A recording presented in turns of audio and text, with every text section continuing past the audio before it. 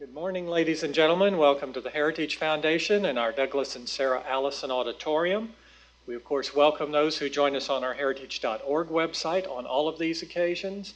Uh, for our in-house guests, we would ask that courtesy check that our mobile devices have been silenced or turned off. And of course, we will post today's program on the Heritage homepage for your future reference. And our internet viewers are always welcome to send questions or comments at any time, simply emailing speaker at heritage.org. Welcoming our guests and leading our program is Dr. Nile Gardiner, Director of our Margaret Thatcher Center for Freedom. He is also a former aide to Lady Thatcher. He has worked at the heart of Washington policy now for over a decade and is a leading expert on the US UK special relationship. He is a regular contributor to the London Daily Telegraph and appears frequently on both American and British television. And he received his doctorate in history from Yale University. Please join me in welcoming Nile Gardiner. Nile.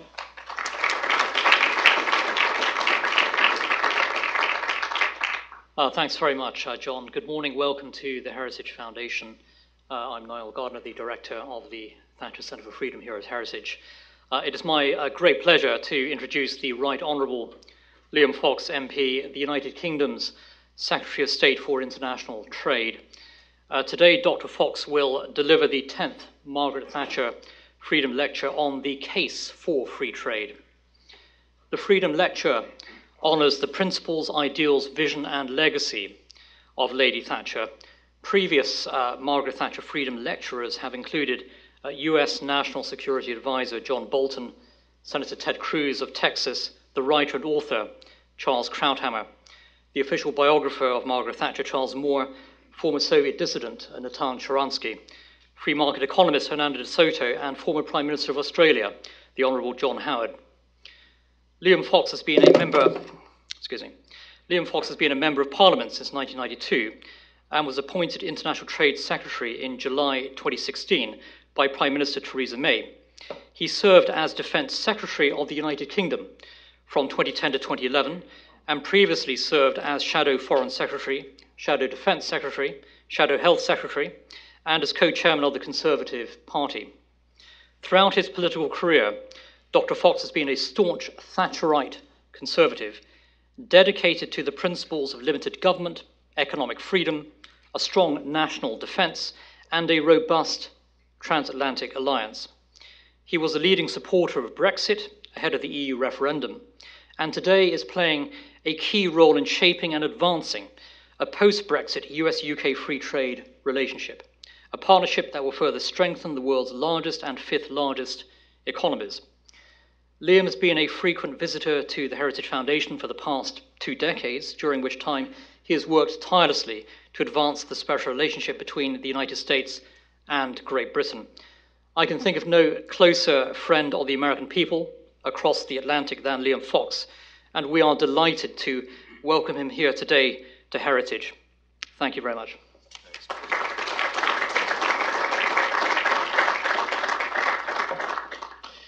Well, good morning. It's a pleasure to be back in Washington. I never thought I would say this, but uh, I've seen more rain here in the last 12 hours than I've seen in London in the past two months.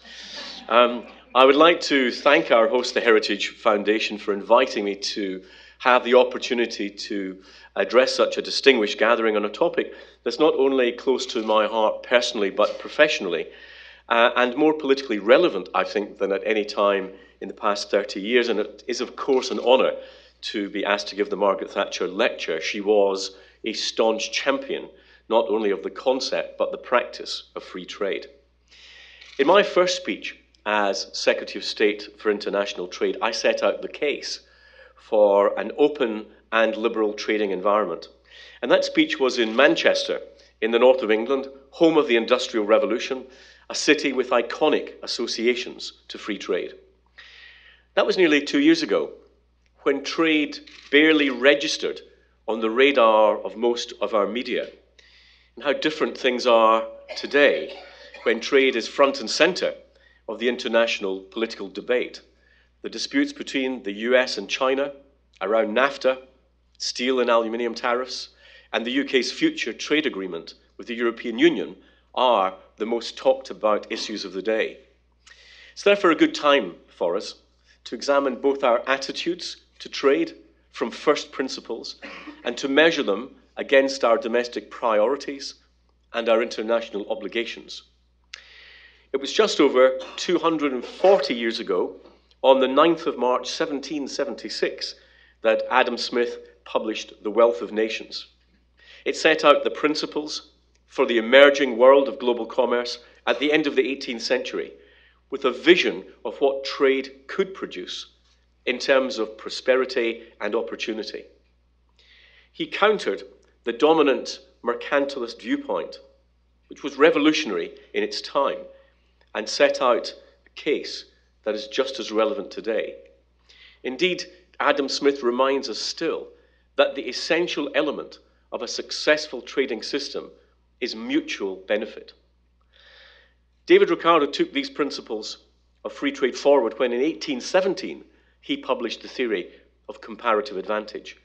And building on Smith a generation before, Ricardo described the economic reality of the gains from trade and demonstrated how free and open trade is profitable to all. It's one of the most powerful concepts in economics, described by the economist uh, Paul Samuelson as the only proposition in all the social sciences that is both true and non trivial. It remains to this day the most fundamental justification of the power of free trade. Now, of course, since those days, since 1817, the world has changed beyond all recognition. Yet the experiences of globalization and of technological advances, unimaginable in Ricardo's time, have only served to validate his theory. The principles of free and open trade have underpinned the multilateral institutions, rules, and alliances that helped rebuild post World War Europe and the world beyond. They helped usher the fall of communism and the tearing down of the Iron Curtain. They facilitated 70 years of global prosperity, and they have raised the living standards of hundreds of millions of our fellow human beings across the world. Indeed, free trade has allowed us to take one billion of our fellow human beings out of abject poverty in just one generation, one of the greatest achievements in our history. Just as predicted in the early theorizing by Smith Ricardo and others, time and time again, we find a strong, positive correlation between economic openness and growth.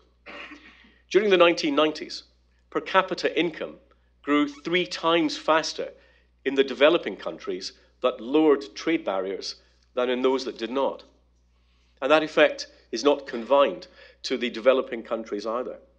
The OECD Growth Project found that a 10% percentage point uh, increase in trade exposure was associated with a 4% rise in income per capita. Free trade works. Globally, as free trade has blossomed, poverty levels have fallen to their lowest in history, bringing industry, jobs, and wealth where once there was only deprivation. Trade liberalization gives consumers greater choice, and the competition it unleashes brings higher quality and standards at lower prices for everything from food and drinks to toys and automobiles. Free trade provides developing countries with the opportunity to embrace the international trading system, to integrate into global value chains, and ultimately to grow their economies. But the effects of free and open trade go further than simple economics.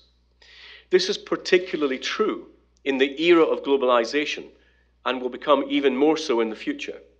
I've already mentioned the fact that free trade has allowed us to take a billion people out of abject poverty in a single generation. But trade is not an end in itself, it is a means to spread prosperity. That prosperity underpins social cohesion.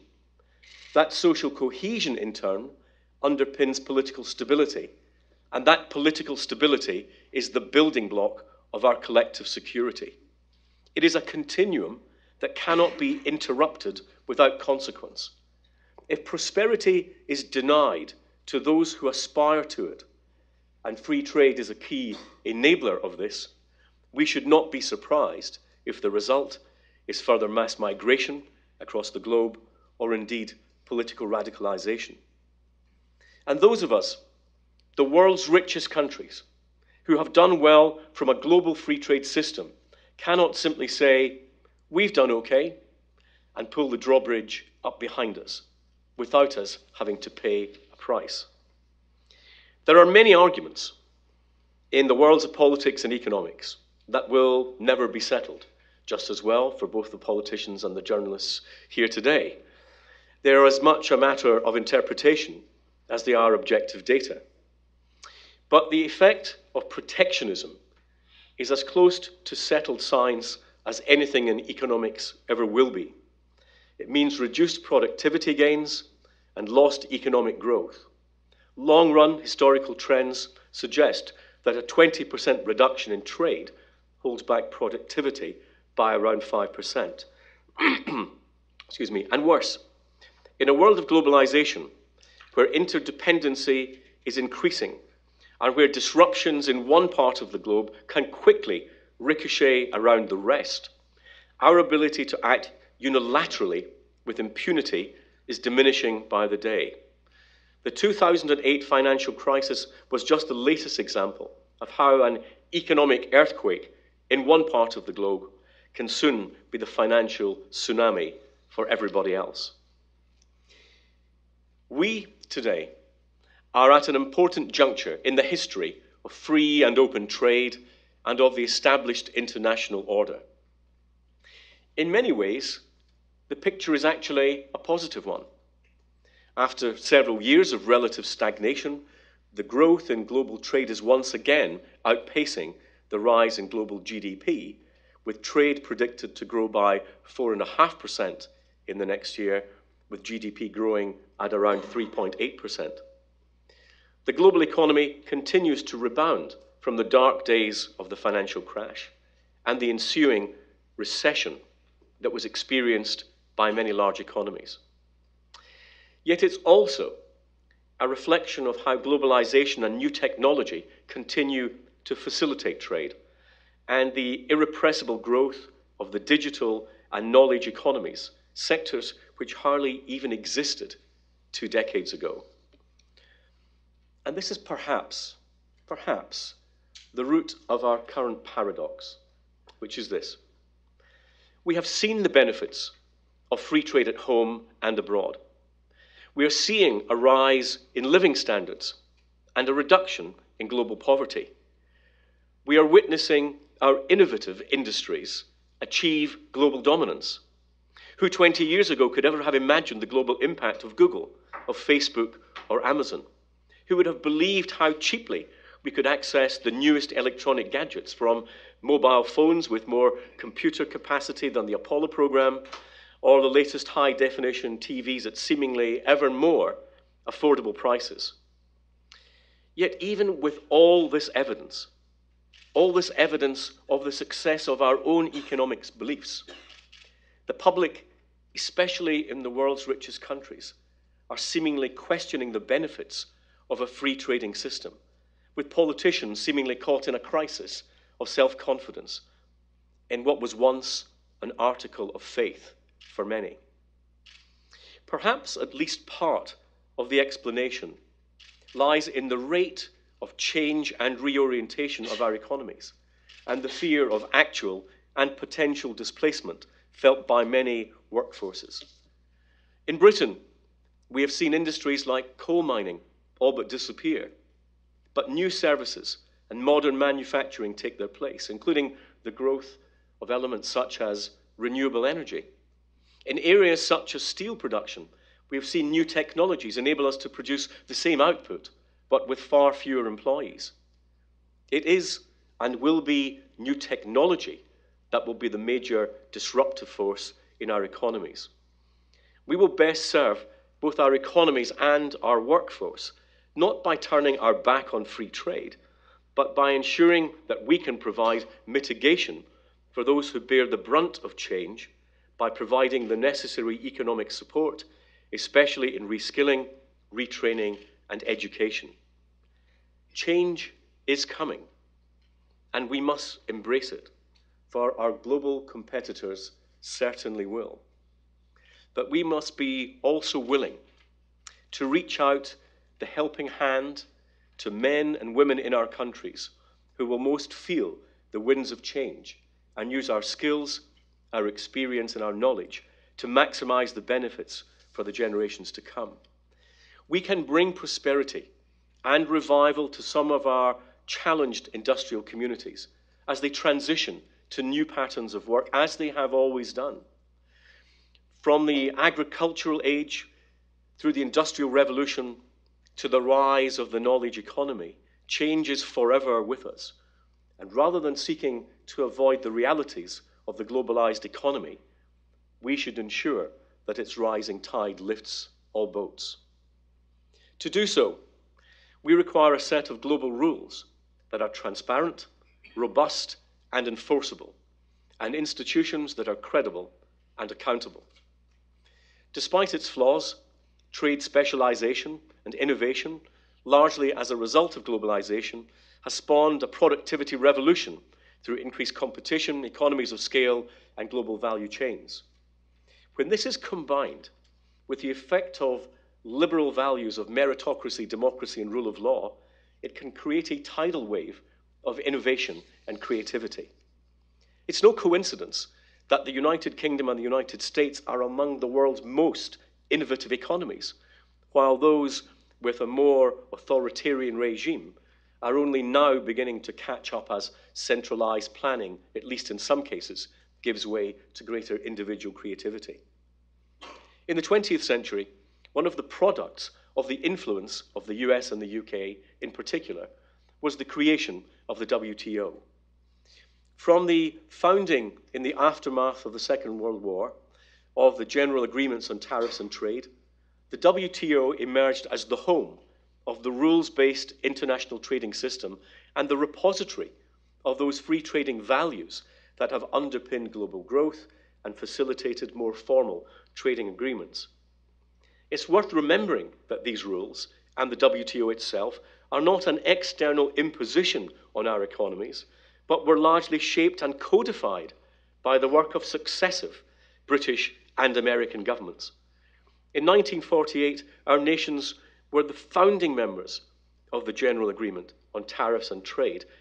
In 1986, it was the US, under President Reagan, that launched the Uruguay round of multilateral negotiations that led to the establishment of the World Trade Organization.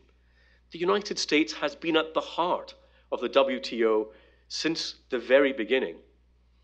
Of course, the system that we established in 1995 is also in need of some refurbishment. After all, the global economy is now driven by advances in technology that were embryonic in 1995. Who could have foreseen then, for example, the rise of the digital economy, or how knowledge and data have become so valuable, or the blurring between goods and services? Just imagine the concept of selling a digital code on the internet so that someone could build something on a 3D printer. It would have sounded like science fiction when the WTO itself began. Now, the structures of the international system may not have caught up with the modern world, but that is cause for reform and renewal, not rejection. The UK and the US are ideally placed to work together to modernize and make the international rules based trading system work better so that the benefits of free trade can truly be felt by all.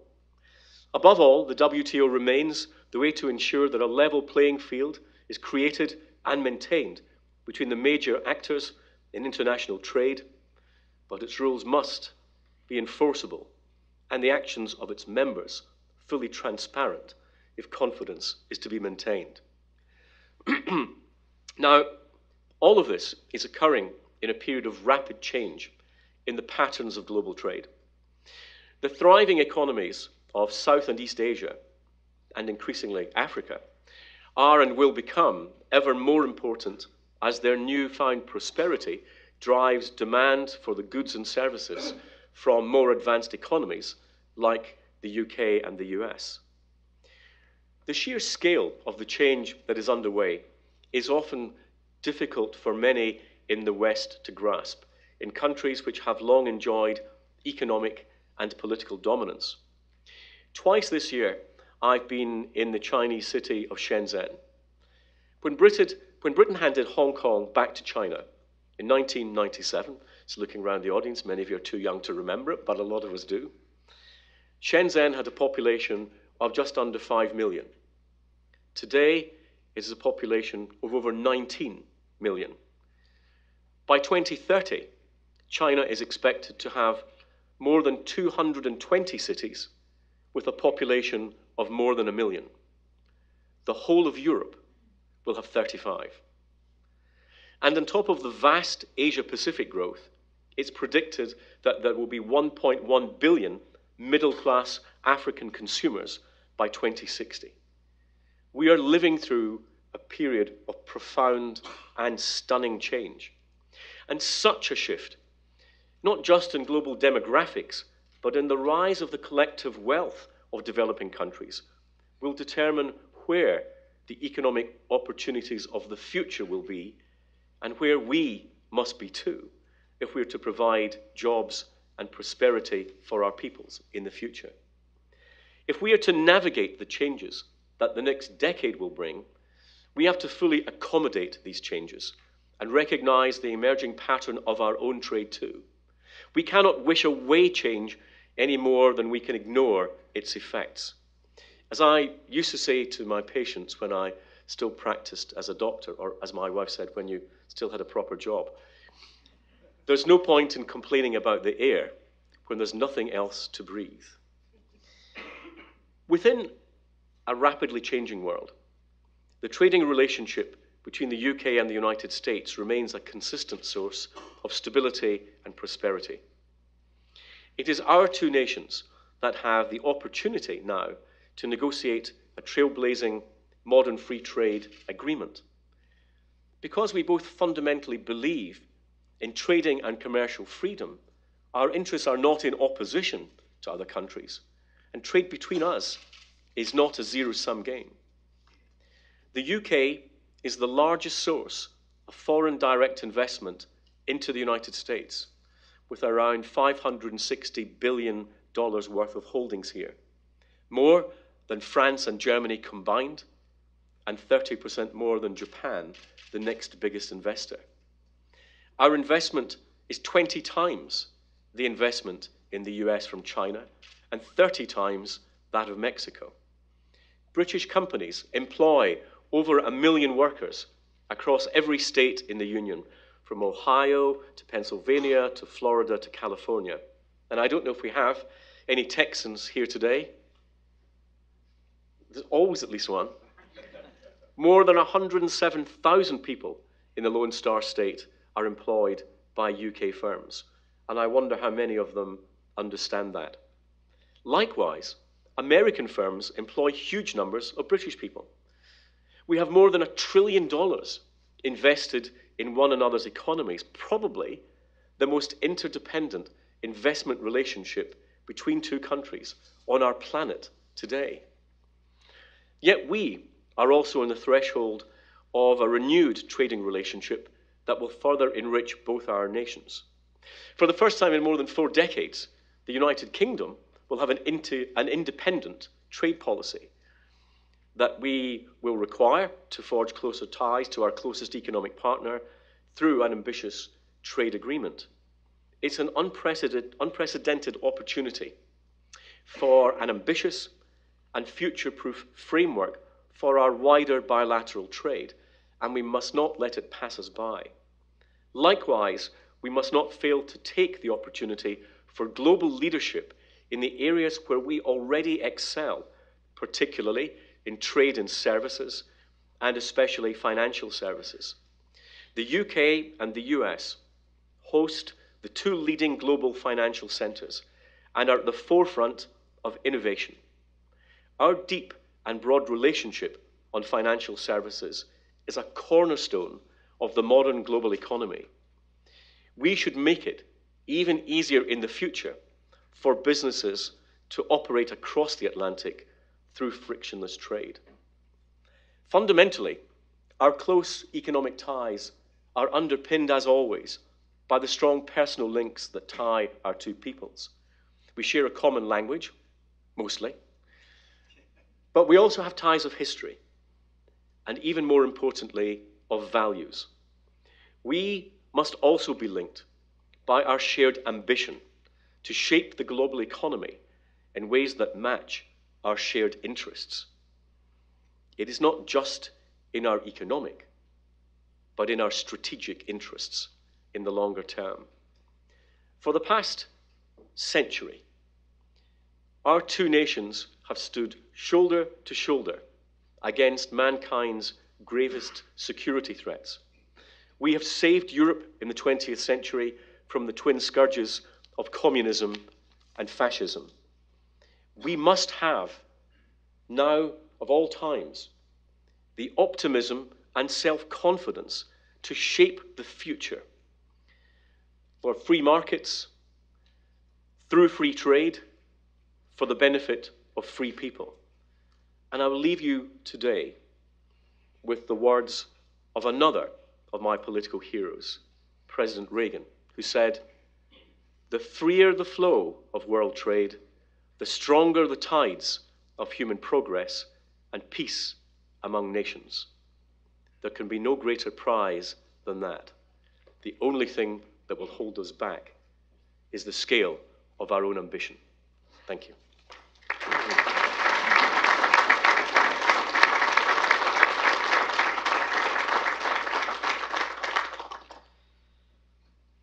Thank you very much, Liam, for a tremendous uh, Thatcher lecture. Really um, very timely, thought provoking, and uh, an extremely robust defense of the principles of free trade. Uh, I'd now like to um, invite some questions from, uh, from the media uh, first, actually. and I'd like to call upon, um, firstly, um, Mark Austin, Sky News.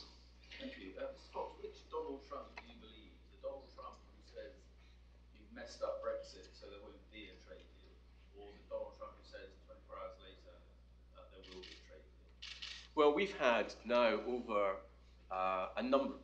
Oh, sorry. So we've had now for a number of months uh, very constructive ongoing discussions with the uh, administration on a number of fronts. We've got four trade working groups. We've got them on continuity agreements, bilateral liberalizations, the potential shape and scoping of a future trade agreement, and the work that we might do together at the um, WTO. Um, I've had a range of uh, very constructive meetings since I've been here, including with uh, Commerce Secretary Ross and uh, UST or Ambassador Lighthizer. And we are moving forward with our preparations. Now, we are not entirely clear what the final shape of our relationship with the European Union is going to be. That, of course, is what we're waiting to see from them. But we can't wait to see what the shape of that will be before we start make pre making preparations uh, for what our future US UK agreement might be. And we work through that. And uh, I met the president, as you know, when he was in the UK. Uh, and I was very encouraged by what he said about the future relationship um, that we can have. If there is a reservation about what the UK EU relationship will be, that is only natural, given that neither the United States nor we nor the EU at the moment know exactly what that is likely to be in the end. But it's very clear what our level of ambition is. Just one follow-up. Are you confident you can get a trade deal with the US by the end of the transition period? Well, that will it will always be dependent on the level of ambition that we set. And at the moment, we have a very, very clear view that that is in our bilateral interests. As I said at the beginning, um, to go all the way back to Adam Smith, uh, mutual benefit is the greatest basis for any agreement, and we see that as being not just in our economic uh, interests, but in our strategic interests as well. And I think sometimes that, that is forgotten. And uh, the reason that I mentioned the investment relationship is I think that people sometimes forget that trade and investment are, are the opposite sides of the same coin. Thank you. Uh, next question from uh, Gary O'Donoghue with the BBC. Do you not think the best chance of Britain getting a, a decent, full blown deal with the US is actually a hard Brexit rather than the halfway house that your government is now proposing? And is Donald Trump a protectionist or a free trader? Um, in terms of uh, our relationship with the European Union, we've been very clear what we wanted to see. Europe represents 43% of our trade, of our exports in, in goods and services. It is declining in importance at about one percentage point a year of the total, but it's still an important part of our trade. And we want to ensure that we have as much access to continuity of trade with the EU as possible while not tying our hands on that element of trade that is growing, as the IMF say, they expect 90% of global trade in the next 10 to 15 years to be outside continental Europe. So we have a balancing act to uh, to carry out, and um, you know whichever whichever um, mechanism we put forward for that relationship, we're either attacked by those who don't want to have any relationship with the European Union at all, or those who want us to remain imprisoned in the European Union um, as it currently is. Um, the government will try to set forward uh, a pragmatic and reasonable basis for our future relationship, which is the offer we've put to the European Union at the moment, although we await their response. Um, what that, to be very frank with you, what that, that relationship is likely to look like is dependent upon whether we get what I would characterize as a people's Brexit or a bureaucrat's Brexit. In other words, is this about maintaining the purity of the theology of the Commission and Ever Closer Union, or is it about the people of Europe and their economies and their ability to trade and prosper with one another? That's the choice that, that Europe faces, and that's ultimately what will shape um, many of those relationships that we will have elsewhere. Uh, the balance between the two. And the United States has always been a free trading country. While it's no secret that we have a difference um, with the administration over the utilization of the 232 mechanism. Um, it's also no secret that we also share many of the uh, anxieties about the global economy, not least uh, with the Chinese economy in terms of overproduction, lack of uh, transparency about what is in the state and the private sector, access to elements of the economy, including the uh, services economy in China, and the forced transfer of intellectual property. So we share many of those issues. It's not a question of whether we believe that there should be free and open trade. It's largely about the mechanisms by which we actually achieve that. I'd like to call on uh, Juliet Bremner, ITV News. Um, today, as I'm sure you're aware, as, as I'm sure you're aware, today the EU officials are in the White House meeting with the President. You are not. Does that not just underline the fact that the UK remains on the sidelines, on the periphery? It underlines why we were right to leave the European Union. But surely you must feel that you need to have more direct contact. Exactly why we want to leave the European Union. It's one of the reasons I campaigned and voted to leave was that I don't want the United Kingdom to be represented by those who are not accountable to the people of the United Kingdom. Our trading policy should be set by the UK government, accountable to UK voters, not, to be, not by bureaucrats in Brussels. While we're members of the European Union, we will, of course, continue to abide by our legal responsibilities. But I look forward, uh, as I have done for almost all my political life, to the day that we will be outside the European Union itself. Thank you. And, uh, uh, that was just in case anyone was unclear about my basic view.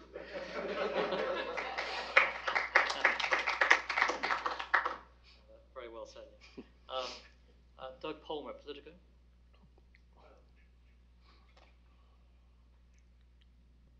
Hi. Um, well, my understanding is that you can't begin negotiations with the U.S. or any other country until you've left the European Union, which is scheduled for March 29th, I guess.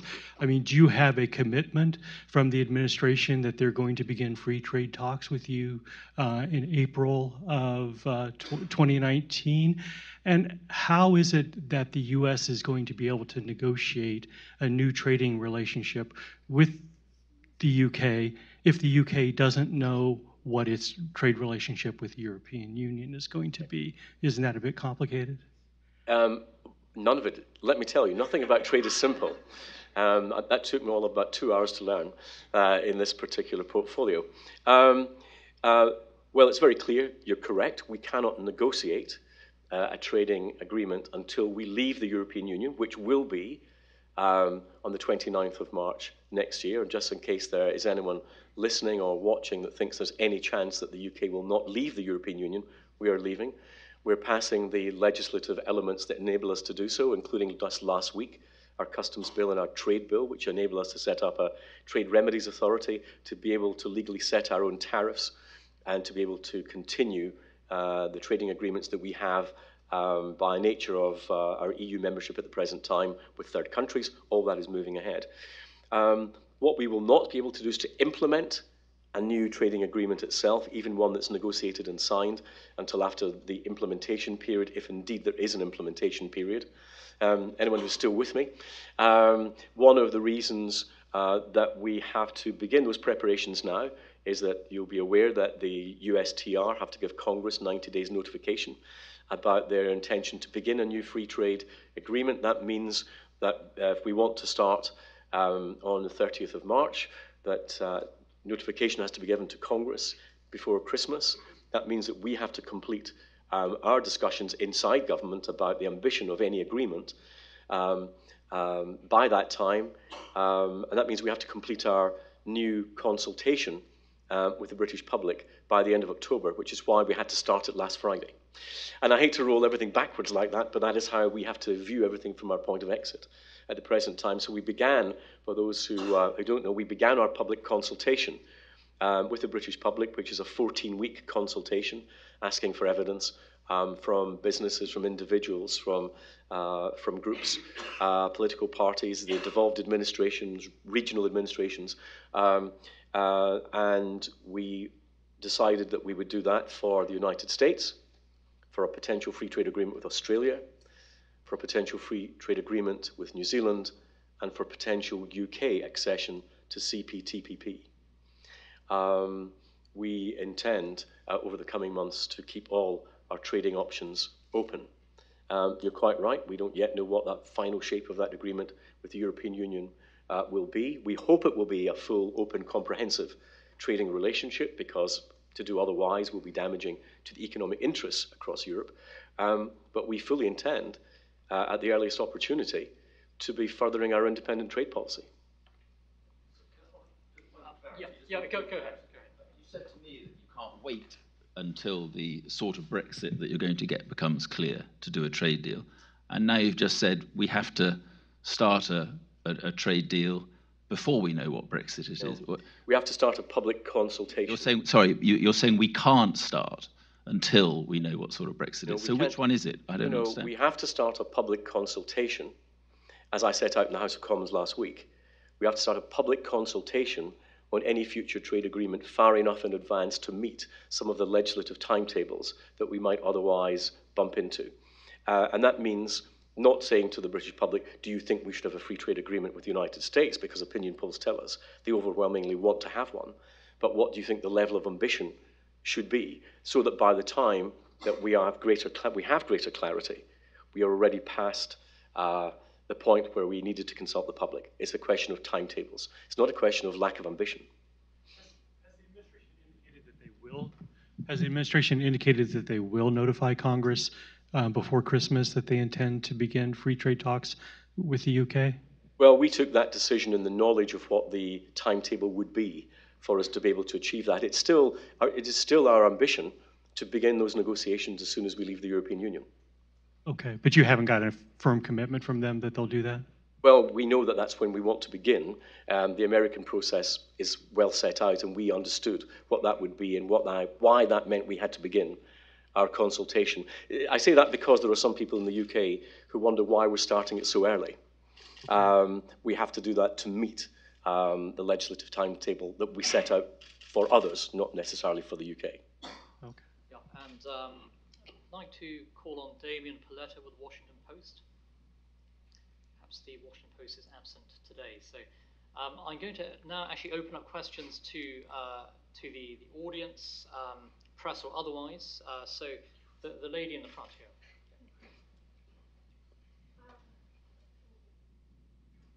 Mentioned that no free trade adversely affects general safety and security. How do you see a lack of free trade affecting that in the future? Could you identify yourself as well in any oh, institutional yes. affiliation? I'm sorry, I'm from the American Spectator. Uh, thank you. Um, it- it's a much it's a much nicer rule than we have in my department. When we have question time with uh, people in our department, we say, "Who are you? How long have you worked here? And how long would you like to work here?" Um, the uh, so I, I do think it's important, and I think it's important um, that we that we don't just talk about trade in terms of pure economics, and it's important in itself, but it's important politically. Um, we saw with TTIP, for example, what happens when there is a, a loss of public support for the momentum in any trade agreement. And I think that we have to make a case for free trade that is um, arguable across the whole political spectrum. So I think that goes from those uh, arguments about uh, lifting people out of, out of poverty right through to those arguments about political stability and the contribution to our uh, wider security. And I think that we have seen, if you look at what's the recent history, for example, in North Africa, where you get a disruption of the political system and that social cohesion, and a disruption of people's ability to access the prosperity that they can see online every day, um, you can see what the reactions to that can be, uh, including trying to get in a boat and, get to where that prosperity is. So I think that we, we need to ensure that through our global trading system, um, we are able to try to spread that prosperity as, as widely as possible. I'll give you a very practical, very practical example. I know that sounds very high mind. I'll give you a practical example. Um, we don't yet have an e-commerce treaty um, to govern uh, that whole growing element of global trade. We know from research that was done in Geneva that of companies that trade only offline, four out of five are owned by or run by men. Of companies that trade only online, four out of five were run by uh, uh, or owned by women. Now, what that says to me is there's not only a huge economic benefit to getting uh, regulations and a framework for global e-commerce, but there's a potentially huge development element within that as well, which is where I see those two elements of global development and global trade actually meeting in a practical sense. And of course, we're now working to try, following the World Trade uh, uh, Organization's meeting, meeting in Buenos Aires back in December, there is now momentum to try to get such an agreement. But it's, it's also, I think, uh, an example of where some of the uh, some of the management of the global trading system has fallen behind the actual practice of trade itself in that time. So I think they are, I think they're unavoidably linked. The point I was making earlier was that if you think you can delink them, and you can delink prosperity, including trade, from its security consequences, you're likely to have a very unpleasant surprise coming.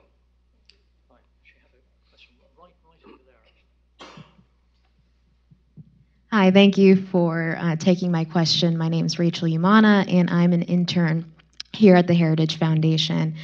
And you said earlier that human innovation is diminishing as the days go by. So, how can your relationship um, with the Heritage Foundation move forward together to help have these better trade agreements? What can you do moving forward with Heritage? Well, I'm sorry if, if, if, uh, if I didn't make that clear. No, I didn't say that at all. What I'm saying is, um, that those of us in the most innovative economies, and I would include the United Kingdom and the US in that, we have a chance to shape the development um, of that wider global economy.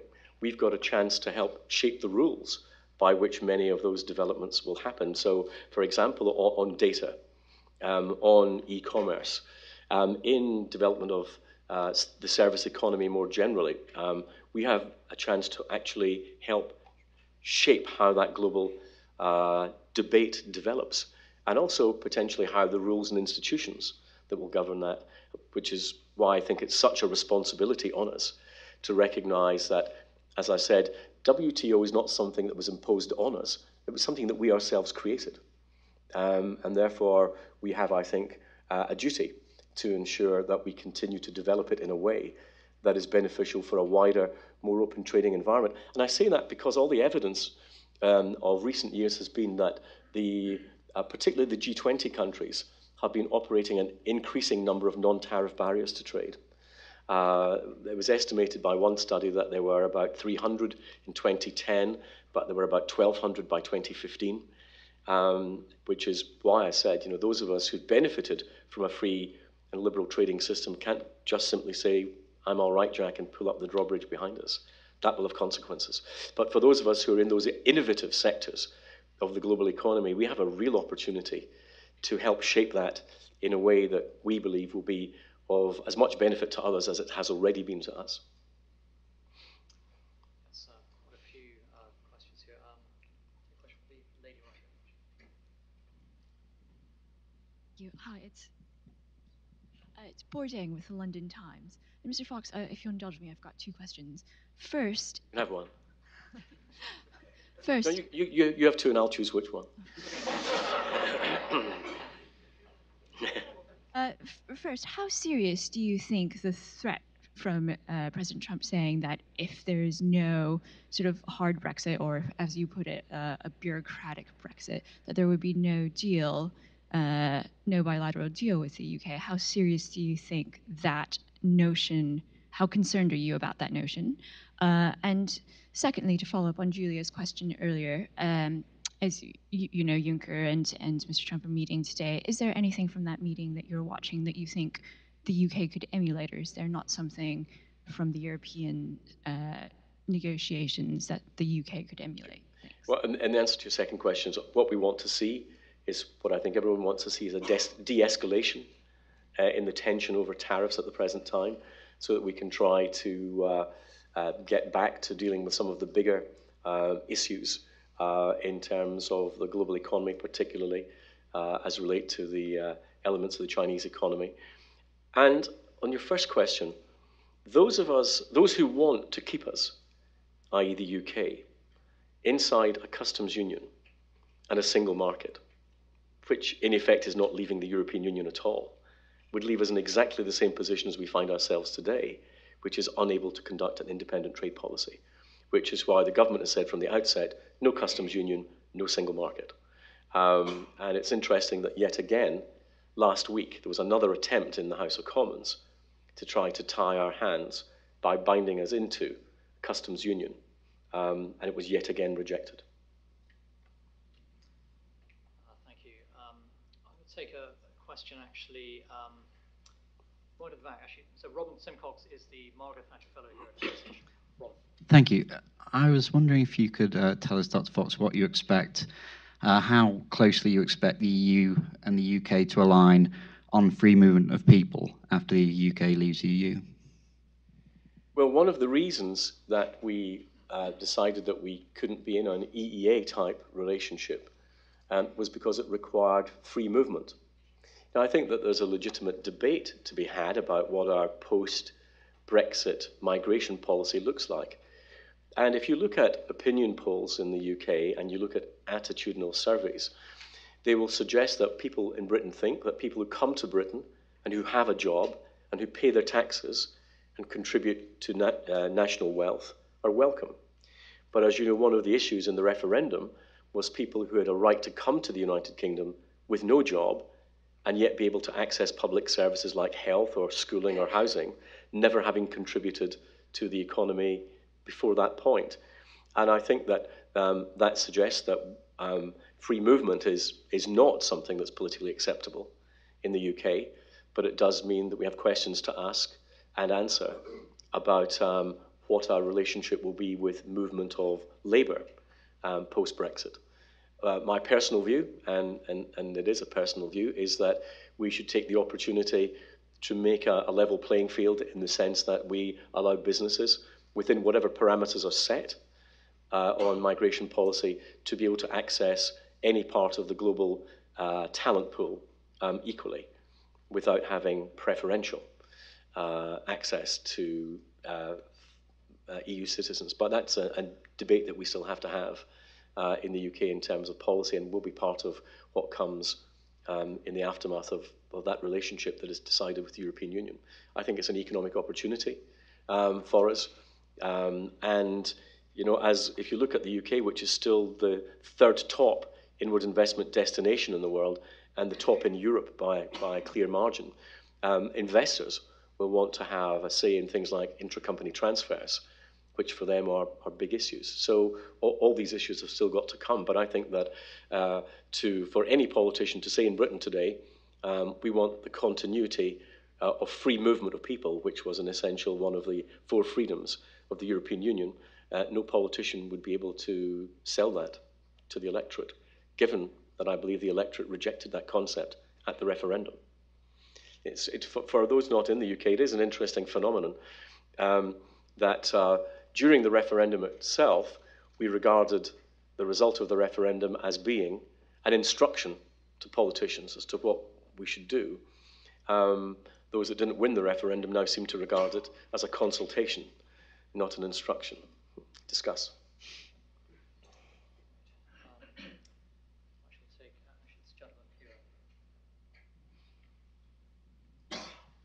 Carlos Avillon, uh, Bank of Central American Economic Integration. Uh, I'm a free trader, and uh, I love the trade regimes of Hong Kong and Singapore. And uh, since Britain was uh, was the colonial master of Hong Kong, I I have some some questions that makes you think if if, if, if perhaps Mr. Trump is is right on matters of questioning orthodoxy. For example, Hong Kong from the from 1850 to 1899 uh, had free trade, uh, no low taxation, and very little regulation, and the economy largely stagnated. In the second half of the 20th century, under the same conditions, rates of economic growth were spectacular, probably about 10, 9% annually. So, why the big change that makes you think that perhaps there is something else that is more important and that has not been discovered about free trade? Um, uh, well, I, I, don't believe that free trade is a free for all. I think uh, a free trading system works best where there are rules um, and there are institutions to oversee those. That's why uh, we went from Uruguay to WTO, um, and that's why I'm a strong believer in, in a rules based system. Um, I think a lot of the problems at the present time um, emanate from either those who are not following the rules in the way that they're set out and not behaving as proper, proper uh, open market economies. And, and on the other side, because of that behavior, those who doubt the, the efficacy of the um, and effectiveness of the, the global trading institutions to manage that. So that. But it's a question, as I say, not of rejecting the system, it's of improving the system. Um, no one, when we brought the WTO into being, could have foreseen the dramatic changes in the pattern of, uh, of global trade. We've now got to try to learn uh, to navigate those. Um, but to move uh, away from where we are now, uh, the alternative to a rules based system is a deals based system. In other words, where the biggest, most powerful players decide the rules between them and everyone else has to follow. That is not the way I think that we create um, a pattern of, of development of trade. And ultimately, I think the best way of dealing with global poverty is to allow people to trade their way out of poverty, uh, not for us to aid them out of poverty. Uh, a sustainable uh, trading system is the best way to achieve that. I think that does require uh, a rules based system, and I think that requires institutions to underpin it. If we are dissatisfied with the way that that system has developed, then we should change it, not abandon it. Yeah, I think we have time for actually just one last uh, question. So, Jim Roberts.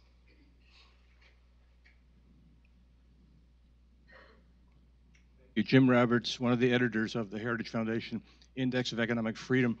I've heard from some in Europe who are deploying scare tactics trying to uh, defeat Brexit that well, they raised the specter that rapacious American companies under a US UK FTA would asset strip the UK, uh, to use their words. Uh, what, what's your reaction to that sort of allegation?